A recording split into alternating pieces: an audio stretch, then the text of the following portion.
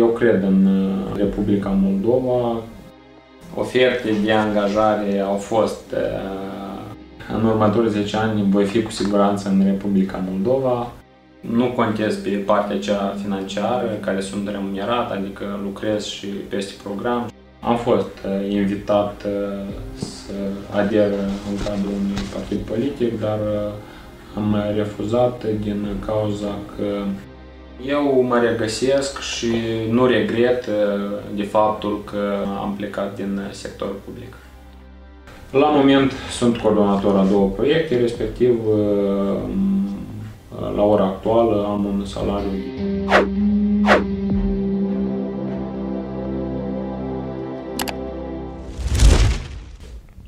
Vă salutăm, dragi prieteni, și vă spunem bine ați venit la emisiunea Direcția Succes, o emisiune în care descoperim pe cei care au reușit să se realizeze aici, în Republica Moldova.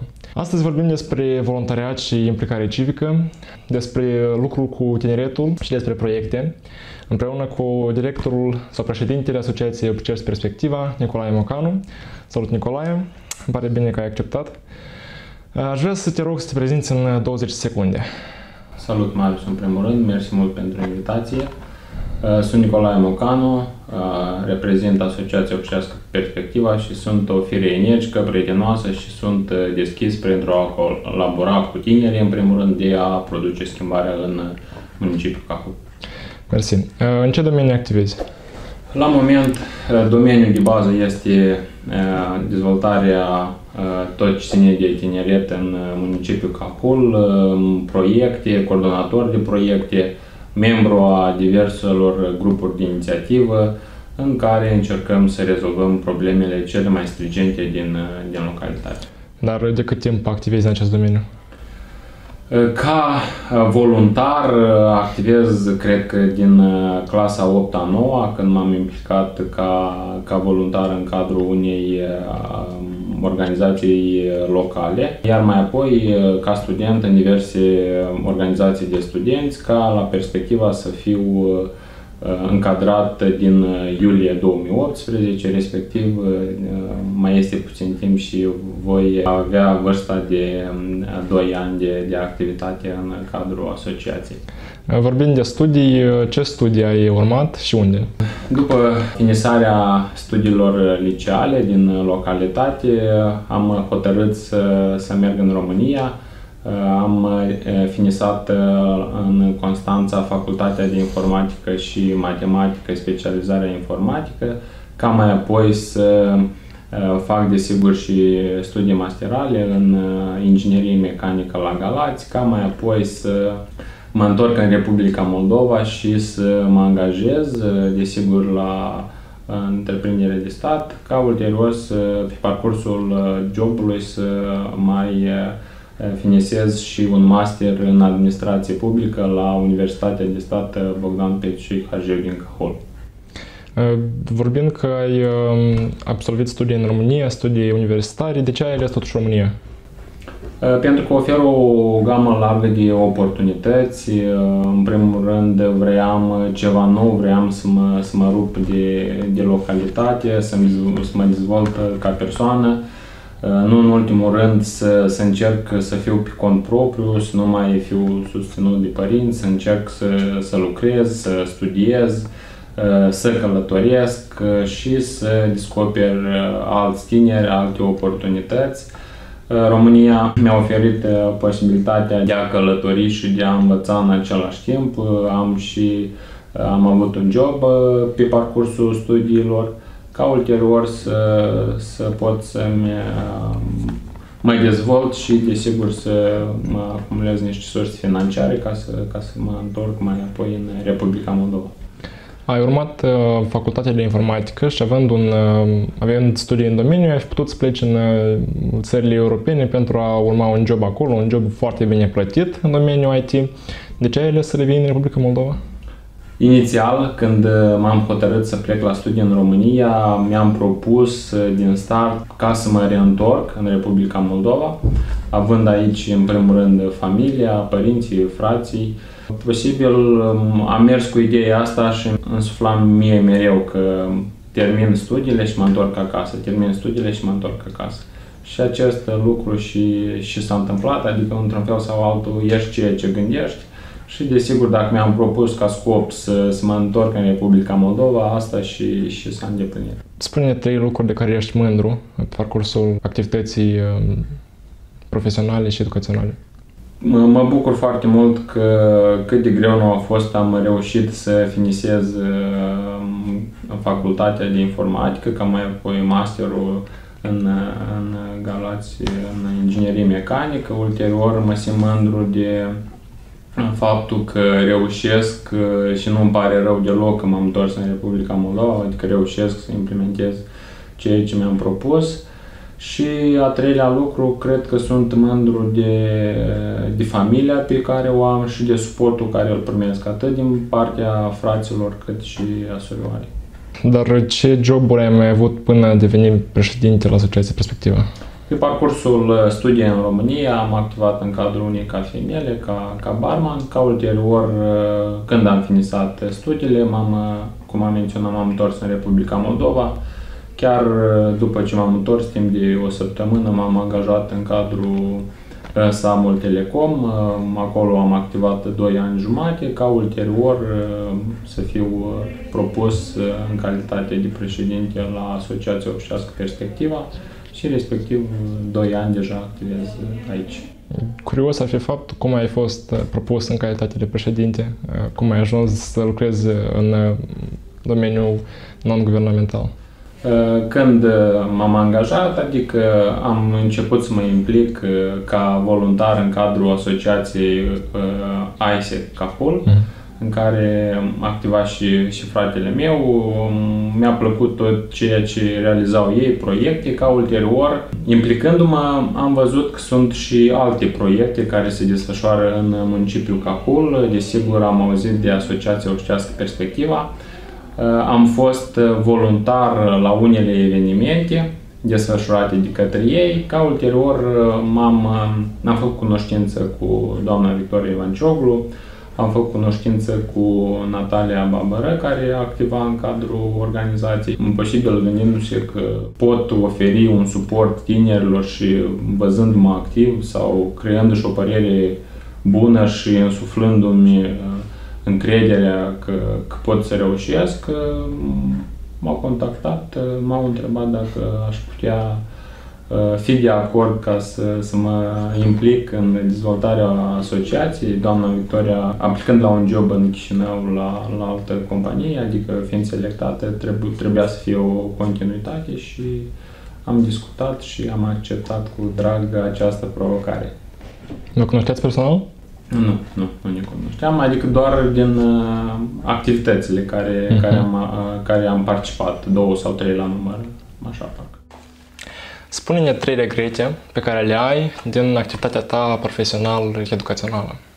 Uh, cred că uh, nu aș putea spune că este un mare regret, dar uh, îmi pare foarte rău că uh, tinerii, atât care activează și în organizația noastră, cât și Eh, cei din municipiu, raion, adică doresc foarte mult să, să părăsească Republica Moldova. Eh, noi investim foarte mult în, în tineret în, la ora actuală și adică este păcat eh, ca să performanțele lor să, să fie arătate în, în altă parte, dar asta este, trebuie să acceptăm situația deoarece Ehm, guvernanții, spune așa, nu fac uh, tot ce este necesar pentru a oferi posibilitatea tinerilor uh, să se dezvolte, să aibă o bursă mai mare, să aibă un job mai bun.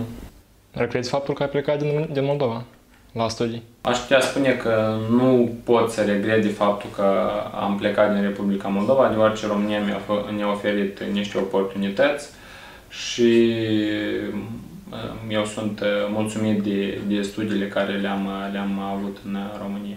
Dacă nu plecai, ajungeai mai rapid în funcție de președinte asociației. De acord? Posibil da, dar și posibil nu, deoarece oricum era să mă, să mă implic, dar uh, am început din ISEC, respectiv puteam să, să dețin o funcție acolo. Nu știu dacă e necesar în, uh, în a o perspectivă, dar uh, ajungeam uh, mai repede într-o funcție, să spunem așa, de, de ONG. Lucrând în sectorul public și activând și eventual în sectorul non-guvernamental, fă o comparație între aceste două sectoare, care îți este mai mult pe plac, sectorul public sau non-guvernamental? Ce ține de sectorul public, acolo lucrezi foarte mult uh, cu oameni, propui servicii, rezolvi chestii personale, adică dacă cuiva nu lucrează, eu știu, televiziunea sau internetul sau uh, ce ține de serviciile care le oferea Telecom, uh, erau foarte des și neplăceri din cauza echipamentelor, respectiv trebuia să, să erai sub o presiune oarecare ca să, să oferi servicii de calitate și să nu compania să nu aibă de suferit atât ca imagine, dar cât și eu ca persoană, deoarece fiind o persoană corectă și uh, punctuală și dorind să respect toate normele, uh, trebuia să depui foarte mult efort ca să oferi aceste servicii. Uh, ce ține de sectorul non-guvernamental, ai posibilitatea să discuți foarte mult cu alți tineri la nivel național, internațional, ai posibilitatea să participi la diverse proiecte internaționale, cum ar fi Erasmus+, Plus, uh, ai posibilitatea să-ți structurezi și să-ți programezi singur agenda, când este să, să mergi într-o ședință, când să rezolvi niște întrebări de ordin intern și partea financiară este mai, mai avantajoasă față de sectorul public, să spun așa. Eu mă regăsesc și nu regret de faptul că am plecat din sectorul public. Dar ce dificultăți ai în lucrul în domeniul non-guvernamental? În scrierea proiectelor, adică foarte mulți finanțatori diferă programele și formulare de aplicare, foarte multe chestii, adică sunt noi și pentru mine, adică trebuie să le studiez, când faci un raport, când oferi, oferi un interviu, trebuie să analizezi, să menționezi toți partenerii, să nu uh, uiți pe cineva ca ulterior să, să creeze disconfort și să fii prudent.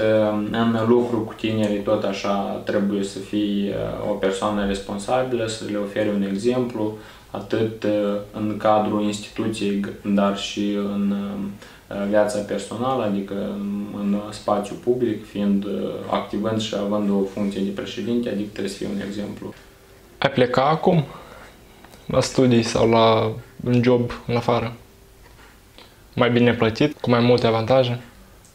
Uh, la studii în afară, dacă să mă refer în România, adică am parcurs toate etapele, fiind ca bursier al a, stat, a statului cum Republica Moldova, adică nu aș mai avea posibilitatea să studiez gratuit, Eh, doar să achit o, un contract eh, care este foarte costisitor, dar de oportunitatea de a studia, de exemplu, în alte țări din Europa, mereu dorești să studiezi și să-ți dezvolți alte abilități. Adică la studii încă nu m-am gândit, iar în ce ține de job, eh, la moment și în următorii 10 ani posibil mă voi menține aici în Republica Moldova.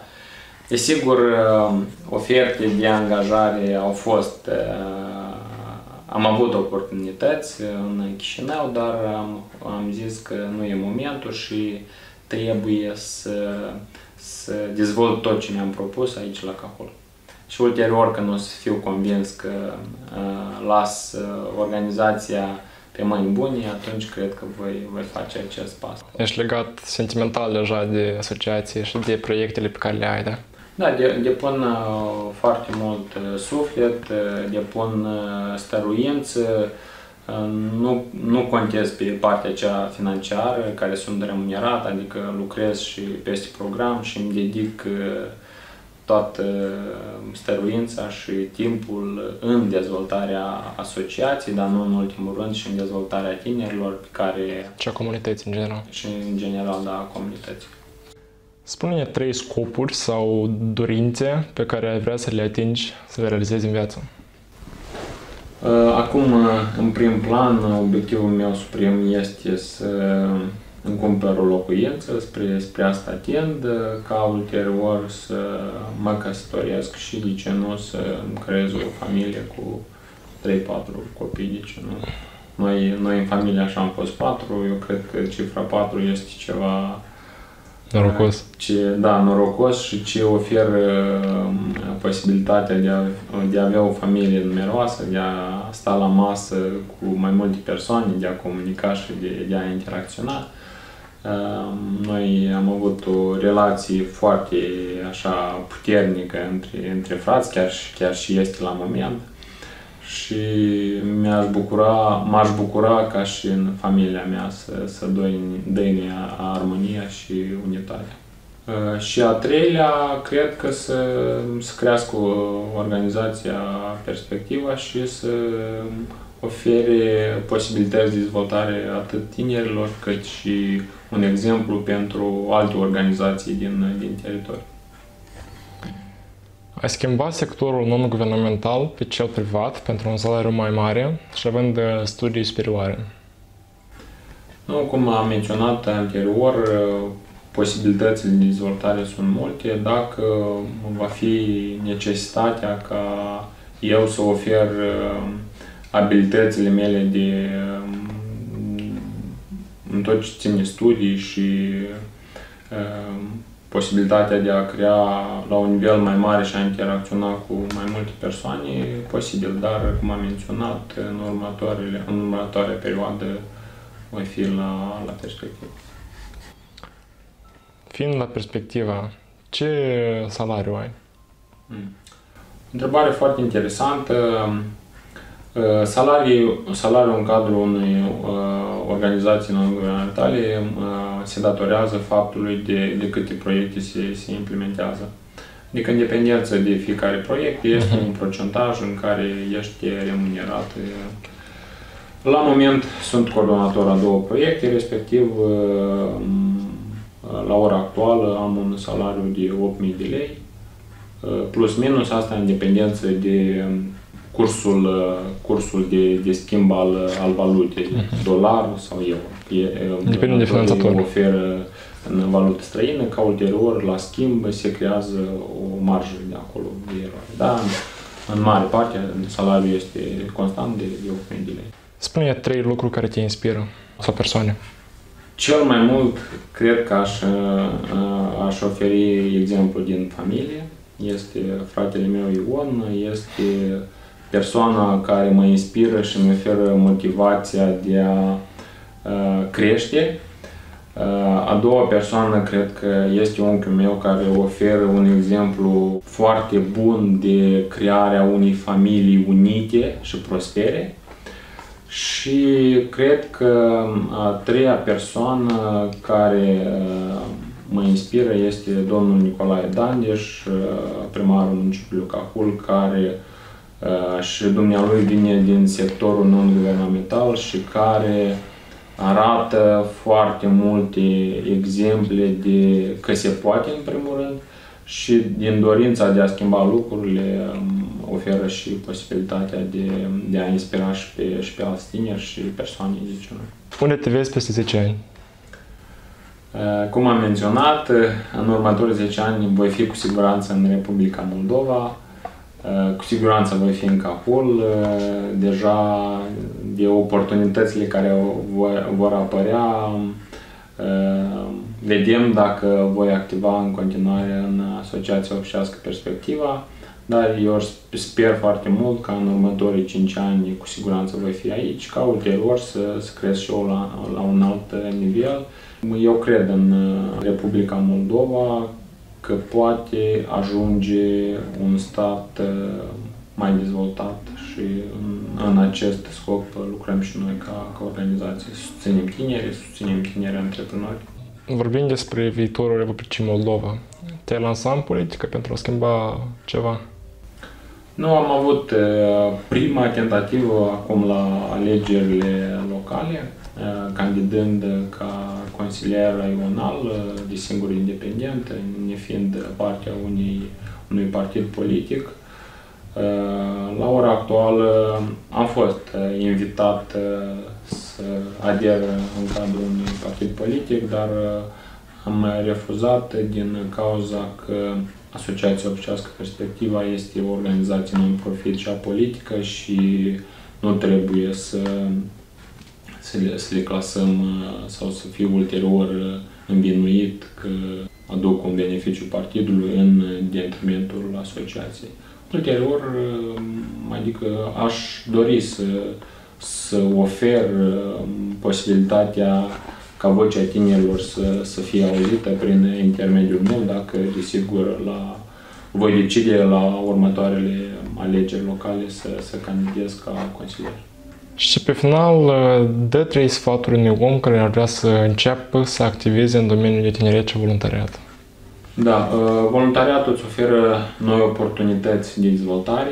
Uh, voluntariatul îți oferă posibilitatea de a cunoaște tineri care inspiră și care doresc să aducă un, un nou trend în Republica Moldova.